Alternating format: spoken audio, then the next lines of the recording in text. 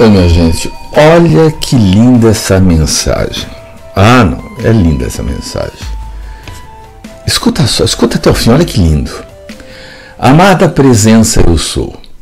Amado Mestre Jesus, fonte de luz e vida, abençoa a humanidade perdida com raios de luz do coração seu.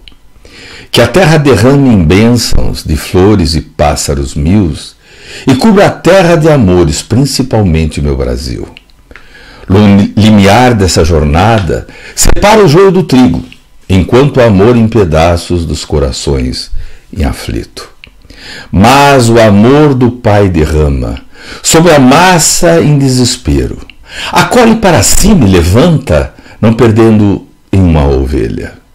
Quantos irmãos perdidos, desatentos, distraídos, quando o suar das trombetas lembrarão do Cristo que sobre a terra derramou, o seu sangue deixou escrito as máximas palavras sobre amor, tudo será bendito.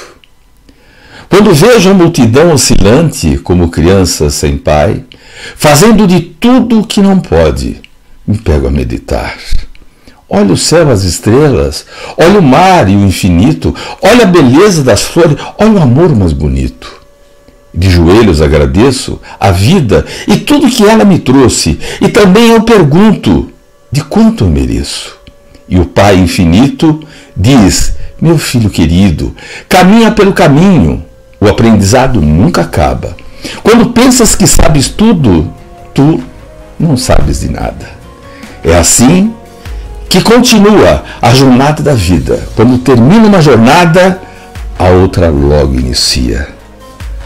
Namastê. Vou ficando por aqui. Tchau, minha gente. Tô arrepiado.